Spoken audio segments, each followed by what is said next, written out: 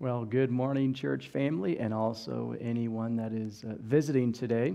Uh, we are excited to have you as our guest and this opportunity that we have to worship together on this wonderful Mother's Day. And so, mothers, if you're uh, tuning in today, we just want to thank you on this important day, all that you do. And I know uh, as I grew up, I had a, a mom that went through a lot and and did a lot for me. And then my wife today does so much for our, our children, and, and uh, we are blessed uh, by our mothers. So, mothers, thank you. And we just are praying for you today, asking the Lord to just bless you in all that you do.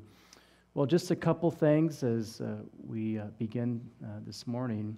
Uh, number one, tomorrow, at 7 o'clock on Facebook, we will be going live uh, with service, uh, Billy Huddleston. He was supposed to be here in person originally, and with everything that's going on, we wanted to at least still get a couple times with him. So, Monday, Tuesday night, 7 o'clock on Facebook Live, Billy will be on there in uh, a time of worship and then a time for Billy to share from the Word with us. So, I hope you will uh, get on on Facebook, share that uh, uh, flyer and I hope to see you on there as well tomorrow and Tuesday. Well, this morning, as we would normally do, just uh, continue to invite you uh, as we go through non gatherings and uh, whatnot, that you continue to take part in every aspect of the church life, whether it's through uh, Sunday school time on 10 o'clock on Zoom, or if it's the Bible studies through the week, or just the prayer time we take on Wednesday nights uh, just stay involved and, and uh, stay connected to one another. And then also, we just thank you for your continued faithfulness and giving, uh, whether that's just through sending that into the, into the church through the mail or if it's getting online and on our, on our website and using the uh, PayPal link. However, you do that, we thank you that you continue to uh, give so that we can continue to serve and do what the Lord has called us to do. Well, I just want to invite you to stand with me this morning as I pray and just as our worship team uh, is here today and uh, just leads us through a time to experience and encounter the presence of the living God. He is here, He is with you, even though we're not here gathered uh, in this place. I want you to know that as the church, uh, He is where we come together in spirit. And as the church, we are worshiping the living God this morning. So let me just pray for us. Father, we thank you for this morning, and we thank you for another great opportunity to worship, another day uh, to come into your courts with thanksgiving in our hearts. And so we, we come with so much in our hearts that we, if we truly look, we can be thankful for. And we just think of our mothers today. We are thankful for them that all that they have perhaps been through in our own lives, perhaps our own mothers we're thinking of this morning. We just ask your blessing upon them. If we can't be with them today, Father, we know that uh, you are uh, watching over our moms today, whether it be young or, or old or wherever at on the line, however, how many kids, if they're grown up or young, they're all on different journeys. And we just ask, Holy Spirit, that you would empower and strengthen as they continue uh, to do what it is to be a mother. But then, as we look at our time today, Father, we want to know that Jesus Christ is alive. That we come to celebrate and to worship Him and to thank Him for what He's done for each of us. And so, just through our time today, as we sing with our mouths, as we proclaim our worship through praise, as we receive the word today that it's living and active, that it will just come within us as a seed and be planted and to produce fruits of righteousness that reflects you. And so we just give our time to you this morning, Father. Would you just bless us? Would you bless us as we're in your presence today? We love you. It's in your name we pray. Amen.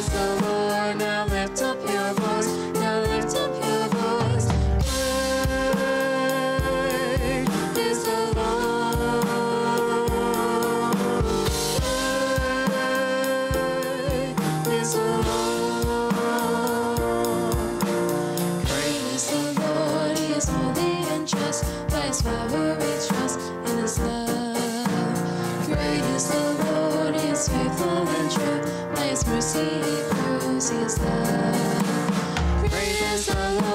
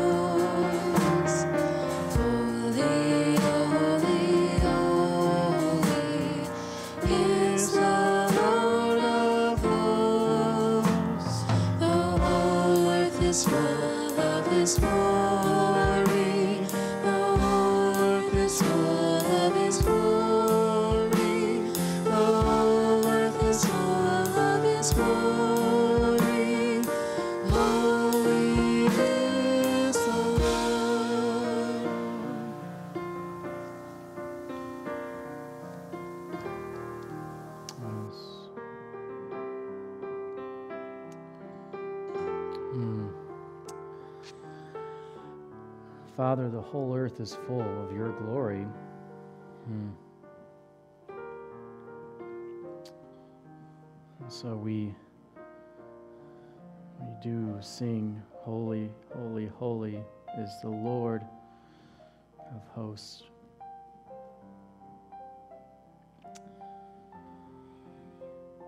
Well, church, this morning we just make our our homes where we're meeting today, we just make it our, our altar space right now.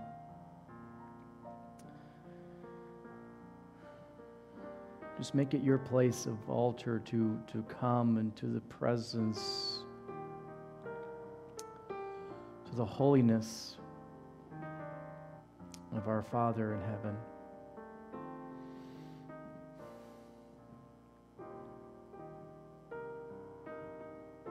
And just as we do that, church, we, we just remember the, the image of Isaiah 6.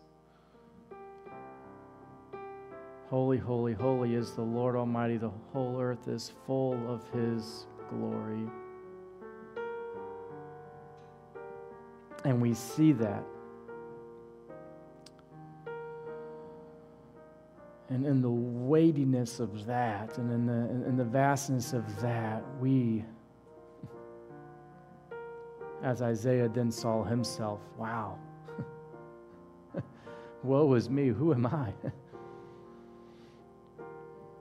and so, Father, this morning we come with, with, with a, a humility, a humbleness into your presence and to the awness of who you are, to the glory of who you are. And we just come to be blessed by your presence, to worship you.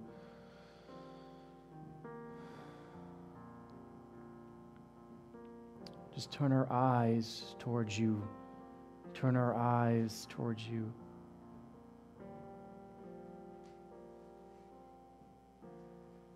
We just turn our eyes to you, Jesus, this morning.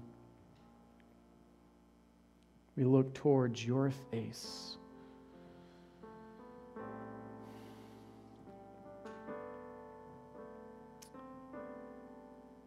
And we see how great you are.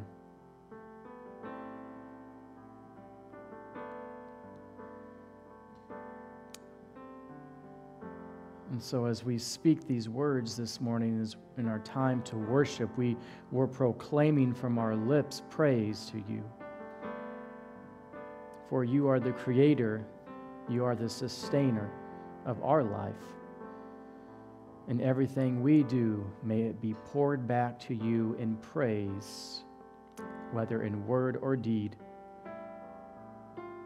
We honor you this morning. We honor your presence with us this morning. Will you just move among our hearts? We open that door.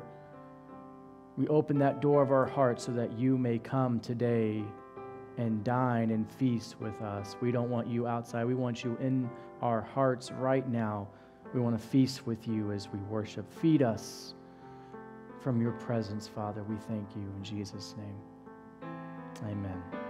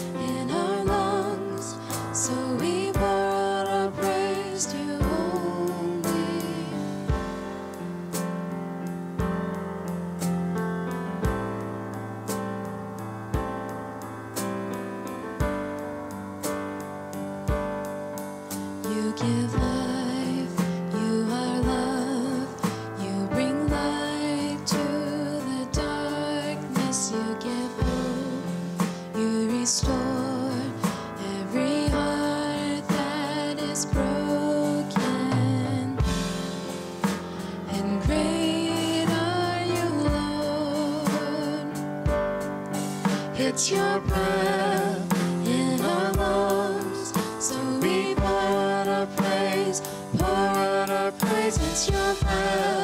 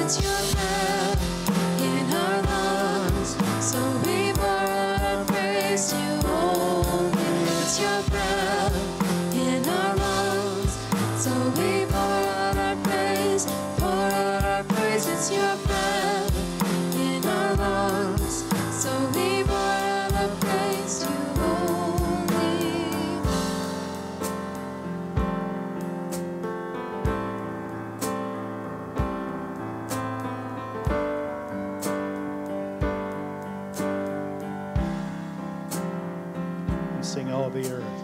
And all the earth will shout your praise. Our hearts will cry, these bones will sing.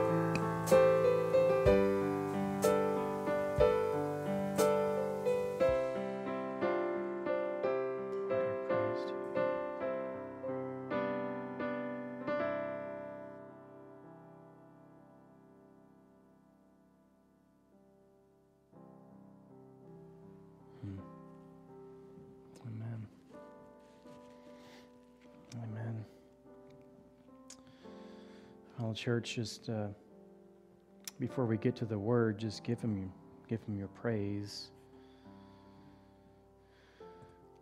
just pour out. You know, there's a lot of things we use breath for. uh, maybe a lot of things we use our breath for that's wasted sometimes, if we're completely honest.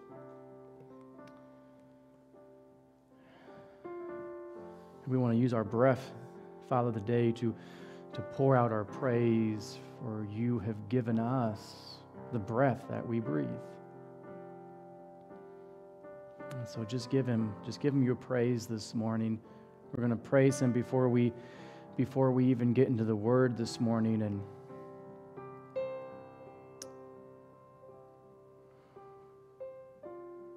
our praise forms our, our prayers here this morning, Father.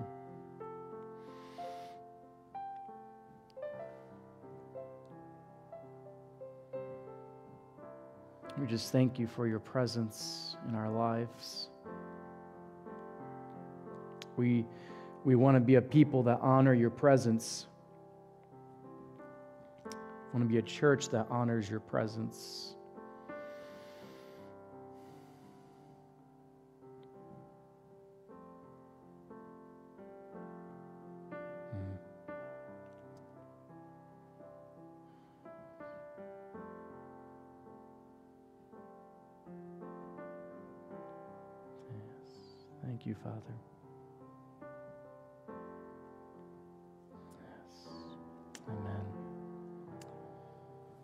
Tell him how much you love him this morning, church, and how good he is in your life.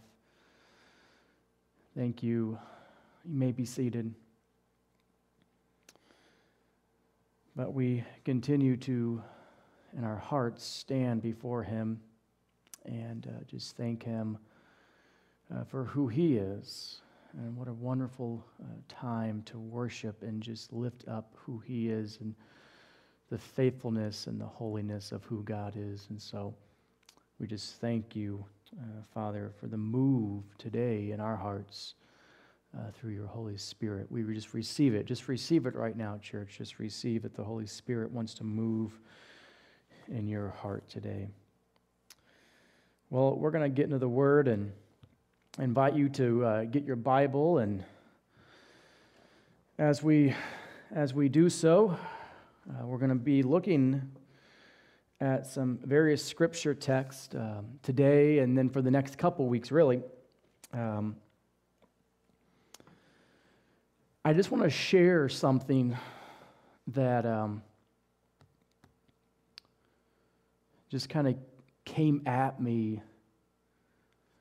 You know, sometimes, you know, we, I, I think I even mentioned this a week ago, you know, we were going to start looking at some things dealing with discipleship. And, and a week ago, I was sitting on a conference call with some other pastors, and uh, as we were discussing a scripture text, which we'll look at next week, it really just began to get some conversation going, and we looked at a character in the Old Testament whom I had looked at before and really desired to, in, in some way, uh, look at his life further and, and really uh, take away from his life what I could. And his name came up in this conversation, and, and it was just like the Holy Spirit just hit me. And, and he said, This is where we're going to go for the next uh, few weeks. Going to talk about the blessing of presence. That's what we're going to call this uh, teaching for a few weeks um, the blessing of presence. And uh, we're going to look at uh, some characters that uh, in Scripture that some you may know. Some of them don't have a lot of inf- information about them. And, um, and so if you don't know who they are, I think by the time we get done with looking at their lives, you're really going to appreciate uh, the things about them in Scripture. But the blessing of presence, I really want to be a, a church that honors the presence of God. And when, when we gather for worship and when we uh, serve in ministry, that we honor the presence of God. Be a, a church that does that. But also, our homes would be a place that we would honor uh, the presence of God. And there was a, a gentleman in the new in the Old Testament, sorry, 2 Samuel chapter 6 is where we're going to be at if you want to go ahead and turn there. 2 Samuel chapter 6. And I want to look at this guy.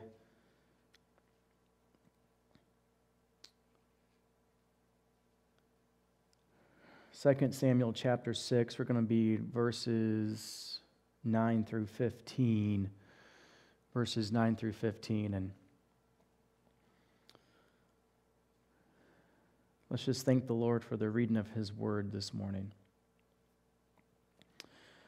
So, a story you may have read before David is moving the, the ark, and in the midst of this uh, procession and festival,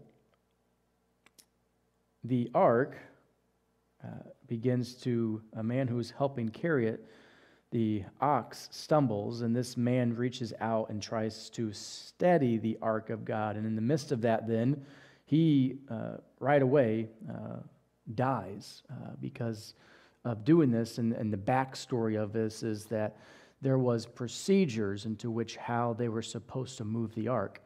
And um, had David, uh, of course, had taken the precautions of knowing and, and being thorough enough of how this was supposed to be, then of course this wouldn't have happened. But because of that, this is, this is where we find our story this morning is that there's, as they're moving the ark to Jerusalem, verse 9 it says that David was angry because the Lord's anger had burst out against Uzzah, the name, the place, Perez Uzzah, which means to burst out against Uzzah, and is still called that today. And so David was now afraid of the Lord, and he asked, How can I ever bring the ark of the Lord back into my care? And so David decided not to move the ark of the Lord into the city of David. Instead, he took it to the house of Obed Edom of Gath. The ark of the Lord remained there in Obed Edom's house for three months, and the Lord blessed Obed Edom and his entire household. Then King David was told, The Lord has blessed Obed Edom's household and everything he has because of the ark of God. And so David went there and brought the ark of God from the house of Obed Edom to the city of David with a great celebration. And after the men who were carrying the ark of the Lord had gone six steps, David sacrificed a bull and a fattened calf. And David danced before the Lord with all of his might, wearing a priestly garment. And so David and all the people of Israel brought up the ark of the Lord with shouts of joy and the blowing of ram's horns. Spirit, we thank you this morning for the word, and we really do need your help to understand it and to allow it to live in us and shape, transform us uh, into the likeness of Christ and how we live. And so we just thank you for our time today in it, and may you be honored in all that is done with it. In Jesus' name, amen.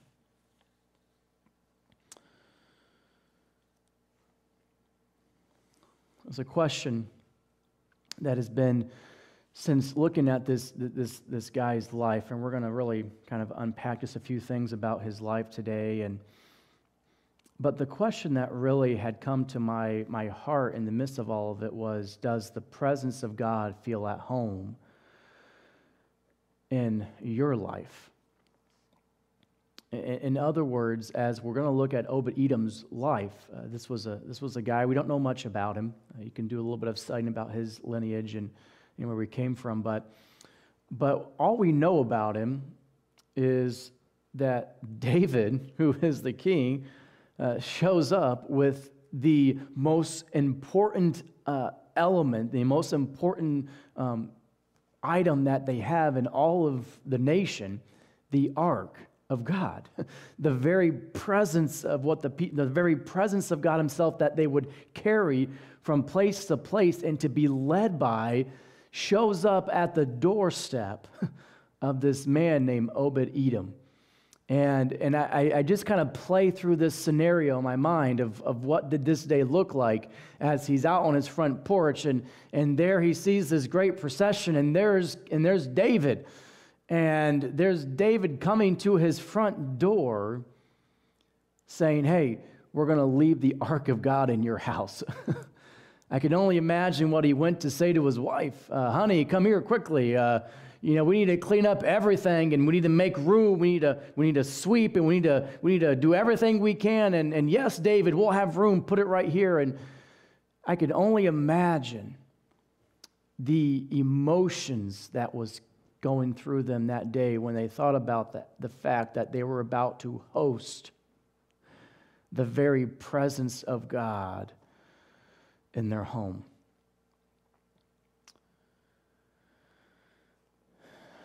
And the more I thought about this, the more, I, the more the Spirit really began to lay on my heart this message about hosting the presence, about blessed in the presence. And we're going to look at this for a few weeks, uh, looking through scripture uh, at different points about the blessing that comes when we host the presence. And, and I'm really excited about this. I'm really excited to see what this will do for our church, but also for, for us as families, as individuals in our homes, when we really begin to honor and, and take into account what it really means to have the presence of God in our homes and in our lives. And so let's look at this, this story uh, in 2 Samuel chapter 6. And so as David shows up, he comes to the home of Obed Edom. And all we know is it says in verse 11 that the ark of the Lord remained there at his house for three months and the Lord blessed his entire household. The Lord blessed everything in his household. Now, what does that mean? Because it, it clearly doesn't give us much more details um, of, of, what that maybe looked like, but we get an idea of the Lord's promise of blessing if you go back to Deuteronomy chapter uh, 28.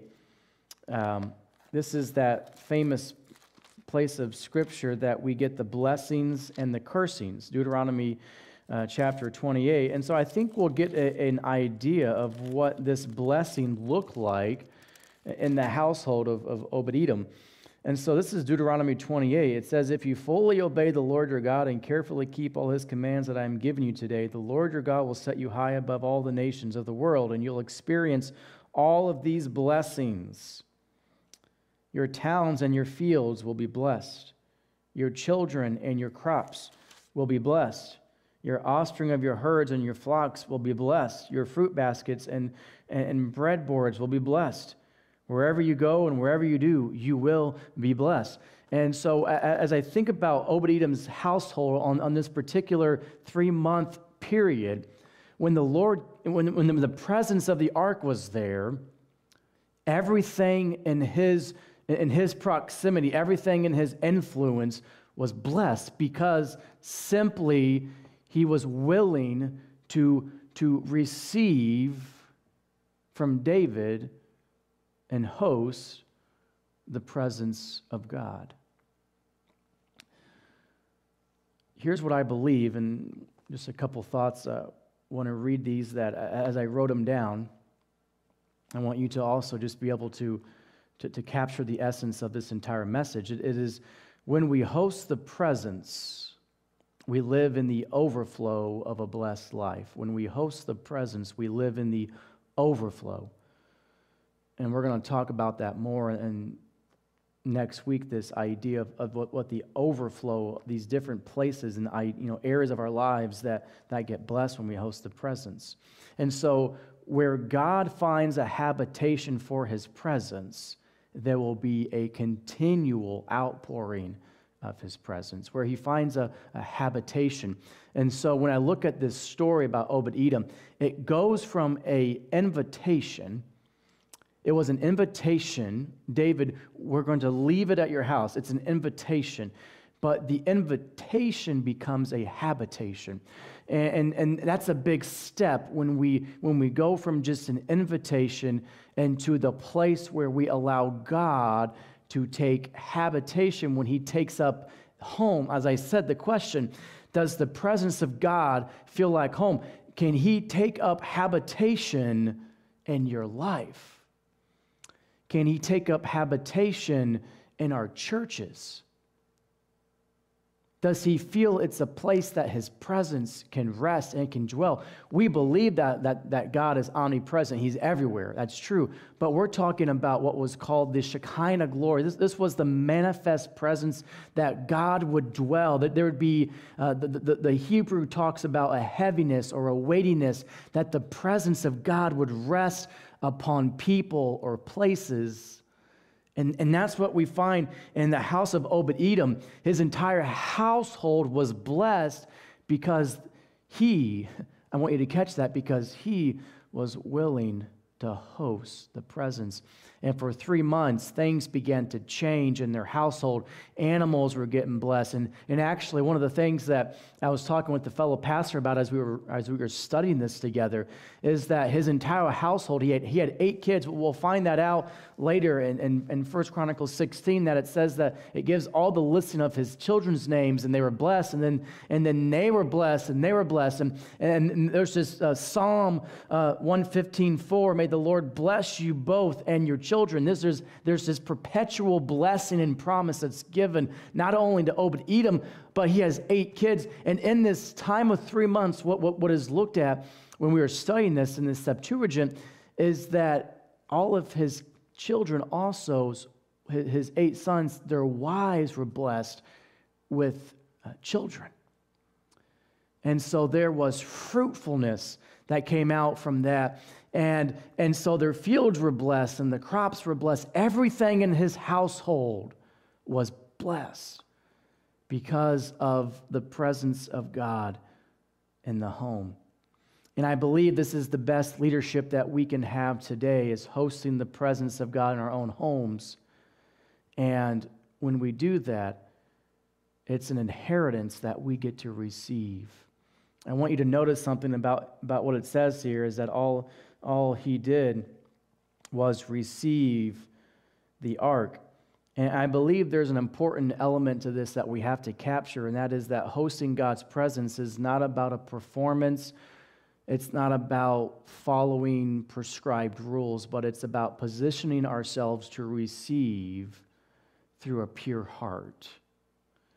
You see, it's, it's not about performance. It's not about trying to do more so that we'll have more of God. It's about positioning yourself in a, in a humbling state of your heart receiving.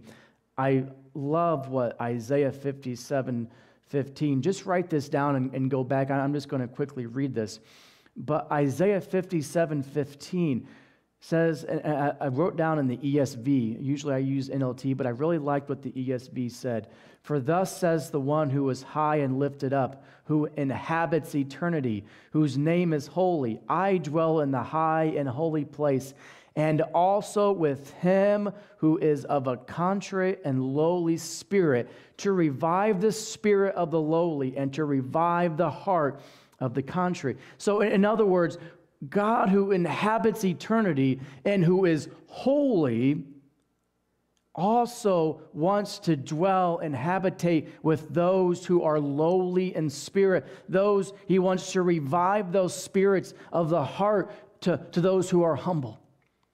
And I, I love that image that, that we can host the presence of God, that we can host Uh, uh, the, the blessings through not performance or following certain rules, but it's positioning your heart with humility to receive. There's three things here, and I've, I've mentioned two, and I'm just going to throw the third one in here. There's three things that are essential into receiving the presence, the, the, the blessings that come with presence. There's three important characteristic or attributes. I've, I've mentioned two. We have to be willing, we have to be humble, and we have to be flexible. You see, for three months, his life was completely changed. We're now, he's now hosting the ark.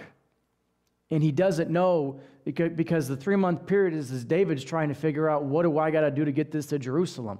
I'm, I'm, I'm angry. I don't know what we're going to do. So we're going to drop it off. we're just going to drop off the presence somewhere and, and we're going to try to figure out what we need to do to get it to Jerusalem. And Obed Edom is like, whoa, by the time three months is over, he's thinking, man, was I glad that it was dropped off at my house. You see, church, today we have that blessing through the Holy Spirit to live and to dwell constantly in the presence through Jesus Christ. But Obed Edom had, had such an incredible experience and opportunity to host the presence of God in his life. And so we too, through our humility and our hearts positioned, we too can host the presence of God. I said that, that there is this, this outpouring, that there's an overflow of a blessed life because the presence of God begins to move uh, in our lives. And so I just want to read that again Psalm 115 4. May the Lord richly bless both you and your children. You see, this, this blessing, if, if, if you'll look at this real quickly, um, I'm going to jump over to First Chronicle chapter 26. I want you to see what happens after this. First Chronicles chapter 26. And so, verse, so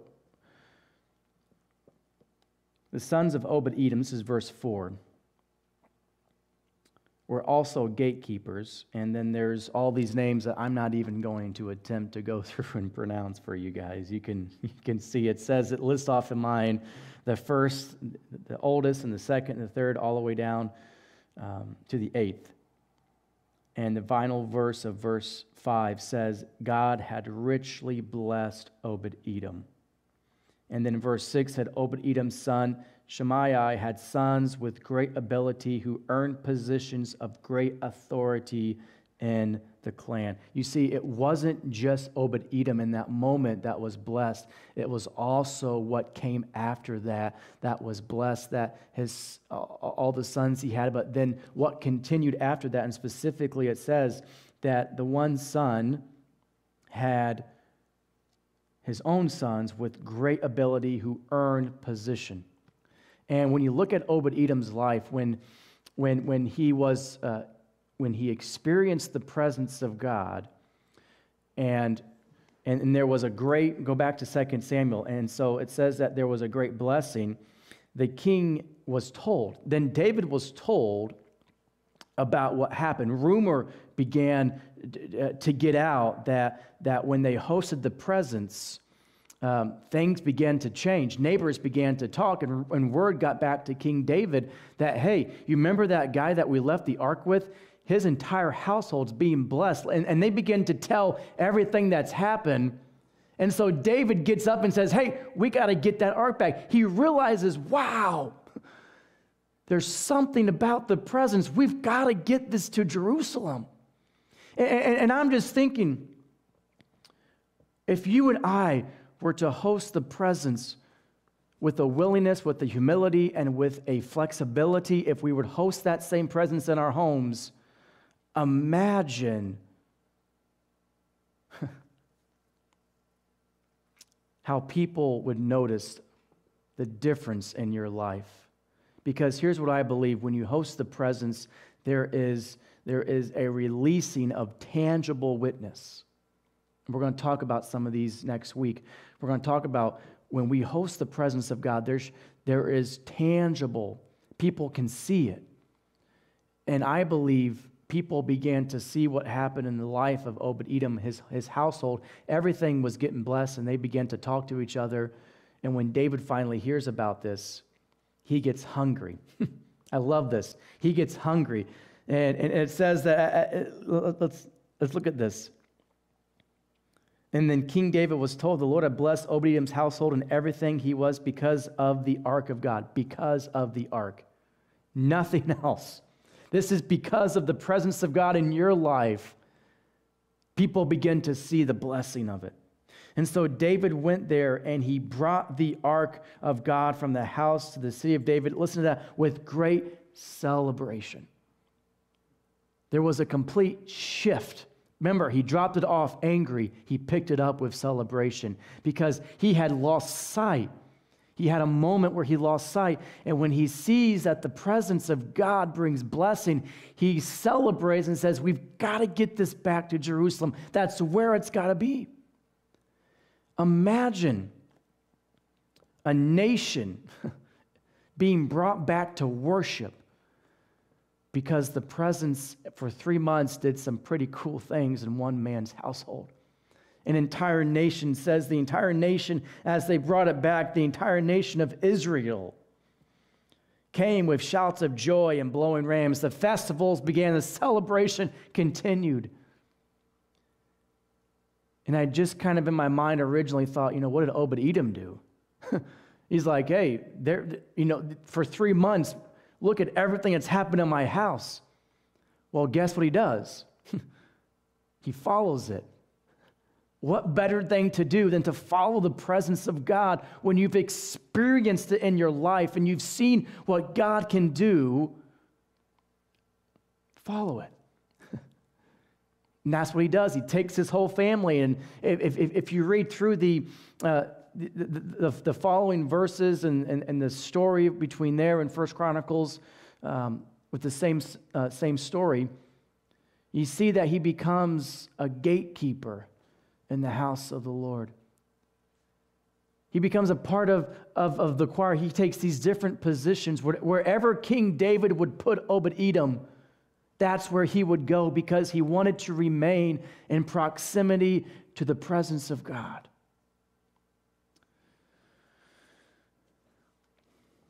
So, just let me just recap real quick. Number one, it was a blessing on the household. Number two, rumor begins to get out people begin to notice difference. This leads to a godly heritage in the life of Obed Edom. A nation is brought back to worship. Man, just imagine if, if, if a nation, what if hunger began to get into, stir into people's hearts and minds when they would see the presence of God in our lives and what it would do? An entire nation is brought back to worship. All because he was willing to make room. And that's what I really want to ask you this morning is are you willing to make room for the presence of God? This quote by Dietrich Bonhoeffer. Bonhoeffer said this A blessing is the visible perceptible, effective proximity of God. A blessing is the visible, perceptible, effective proximity of God. In other words, a blessing is when you know God is near. It's visible, it's perceptible, and it's effective. When we are in the proximity of God, when we remain close to God, our proximity to God is directly proportional to the productivity for God. So the things that we do, the things that we see in our life comes from the proximity that we remain to God. That's why Obed Edom chased after the presence of God. It's why we keep seeing his name show up in these positions because everything he wanted to make sure his family stayed close to the presence of God, stay to the proximity of God. And so today, that's what we have to do as well in our spiritual lives. We need to stay close to the presence of God.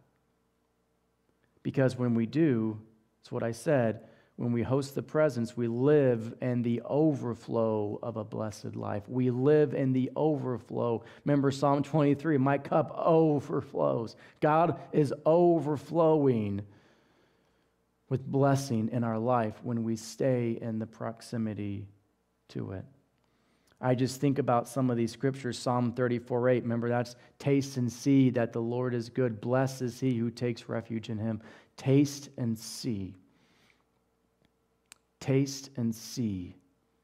Once we once we taste the presence of the Lord, once Obed Edom tasted the presence of the Lord, nothing else was going to suffice. Nothing else he, he fed on was going to do it. it. It's, it's not about the preaching or the music or, or anything what church does. When we taste the presence of God, when we live in proximity, when we experience that presence, we don't want to look anywhere else. We come because the presence is, is what draws, it's, it's what fills, it's what, it's what equips and satisfies. We don't look to anything else.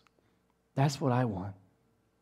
I want the presence of God in my home, in our church. Taste and see. Psalm 84:10 A single day in your courts is better than a thousand anywhere else. I would rather be a gatekeeper in the house of my God than the good life in the house of the wicked. I would rather be the gatekeeper in the house of God because why? Because it doesn't matter what position, it doesn't matter what we're doing if we are dwelling in the presence of God. John 15, 5, Jesus said, and he, talks about this if you remain in me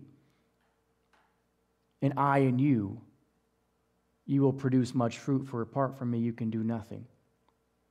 If you remain in me and I in you, you will produce much fruit. Intimacy produces fruit. Intimacy with, with God brings fruit and a natural overflow. Productivity for God comes from our proximity to God. When we remain in Jesus, when we abide in Jesus, when we dwell in with Jesus, when we habitat with him, our household will be blessed. People will begin to notice, people will begin to talk. I believe this. And I want to see our church and I want to see your life experience the overflow, the blessings, the outpouring, continual outpouring of His presence in your life. Remember what, what uh, Moses said. This is uh, Exodus 33 14. The Lord replied, I will personally go with you, Moses, and I will give you rest. Everything will be fine for you. The Lord replied, I will personally, my presence will go with you. And in the next chapter, Exodus 34 10. And the Lord replied, Listen, I am making a covenant with you in the presence of all your people. I will perform miracles that have never been performed anywhere in all the earth or in any nation. And all the people around you will see the power. Listen to this, church. They will see the power of the Lord, the awesome power I will display for you. They will see power. There's going to be tangible, perceptible, effective things that happen in proximity to God when we allow Him to be all that we are. When we give everything over, our, our, our entire being, our entire home, our entire church, when we give everything to Him, Remember, Moses didn't want to go up anywhere. He, he didn't want to do anything unless the Lord was with him. Because what will separate us from us and the other people? What will distinguish? What will, will help people to see? What will set us apart? Moses asked. And the Lord said, It will be my presence that sets you apart, and I will stay with you. What sets us apart from the other people of unbelievers? What sets the believer apart? It is, it is God that is with us, that is leading and guiding and working in and through us to reveal power to those around us. Without God's presence, there's nothing that sets us apart. If you think about heaven, what makes heaven heaven? It is the presence of God. And then Jesus told us to pray, Thy kingdom come and thy will be done on earth as it is in heaven. We want to make, we sing it, we sing it as we open church. We want the whole earth to, to know of his glory.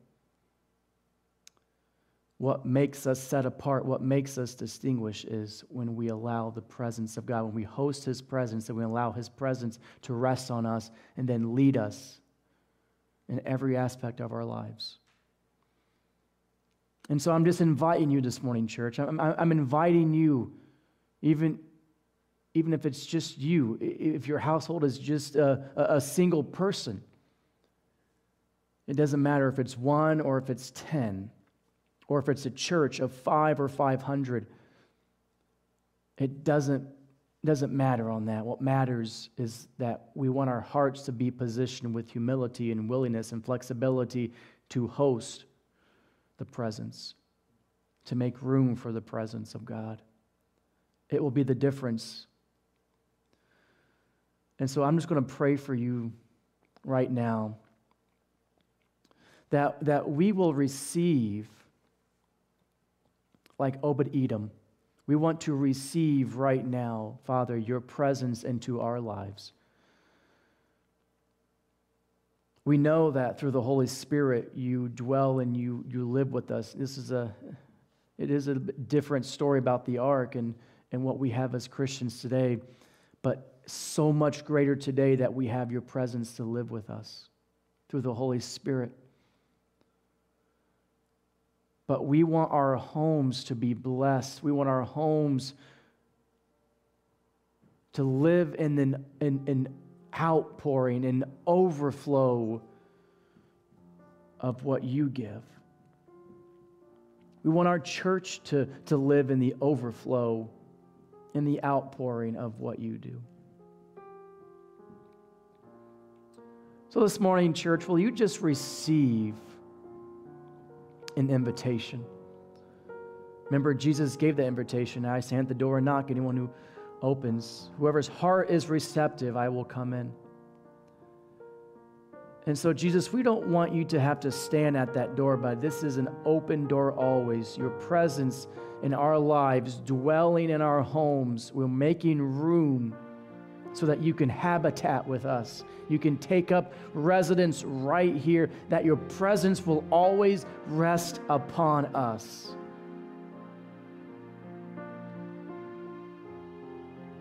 We want to be hungry for it and desire the blessings that come. We want to see blessings, we do. We want our lives to be blessed, but more importantly, we want to do it because we desire your presence more than anything else. We want you, you, we want your presence always in our midst leading our lives. And so we thank you this morning for what you're able to do and what you desire to do in each of us. Just ask your blessing upon each home, each church, that we will go after you just as Moses did. We don't want to do anything without you. We want your presence, Father, always before us. We just thank you right now. And we give our hearts, we position our hearts, we give them to you. We thank you. In Jesus' name, amen. I'm just going to invite you to stand as we uh, close this morning with a song, as we just continue to give praise to his presence.